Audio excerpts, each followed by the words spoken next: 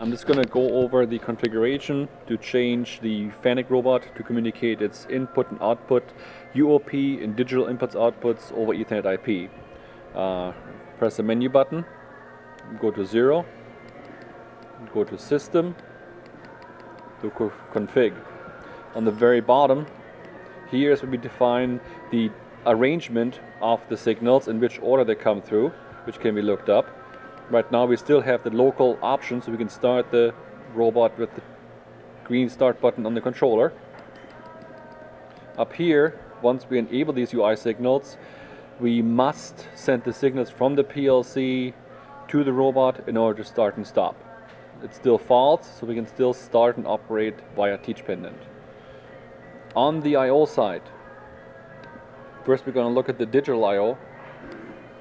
So here's 121 and if you click the config button we see that we defined DI121 to 184 starting at rack 89 slot 1 start point 1 that gives us 64 bits which we mapped out on the PLC as well.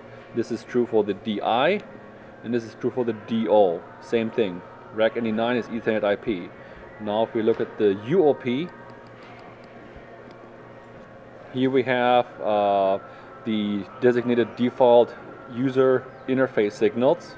If we go to config, we see that we have UO 1 through 8 assigned to rack 89, slot 1, starting point 21, which uh, uh, starts 20 points later on our PLC configuration.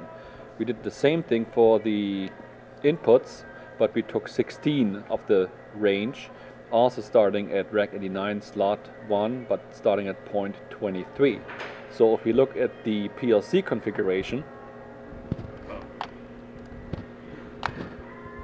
so here we have the uh, COM format of data integers. We have the input starting at range 101 four 16-bit signals. Output 151 and four 16-bit that's our 64 bits again. On configuration we have it zero. If you go to the bits, you can see that we identified the alarm alarmate output data 0, bit 0 as DI121. If we scroll down, here we have identified the bit 6 of data 1 is the IMS TP, which is 23 points later that's where all of our UO signals come in. If we scroll up to the input side, which is what the robot outputs, here we have digital output 121 as the very first one.